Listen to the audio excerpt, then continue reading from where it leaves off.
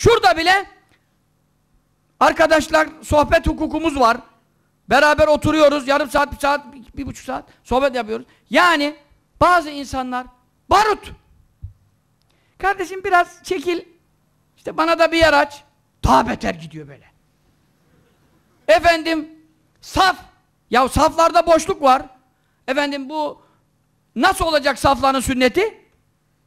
Sık olacak. Sahabenin safları nasıldı? Çivi gibi. Eğer ki diyor bir adam diyor sahabenin saflarının arasına girse hiç diyor kendi eğilip kalkmasa onların eğilip kalkmasıyla otomatikman eğilir kalkar. Çivi gibi böyle. Sahabenin safları. Bizim saflar nasıl? Esneme payı, oynama payı falan. Böyle bir saf. Şimdi adam arkadan o hiç istemiyor biliyor musun? Yandaki ne diyor ki? Geril diyor biraz. Arkadan adam almayacak. Arkadaki de sünnet yerine geldi. Adam oraya geçiyor. Adama bir yumruk. Camide rastladım ya.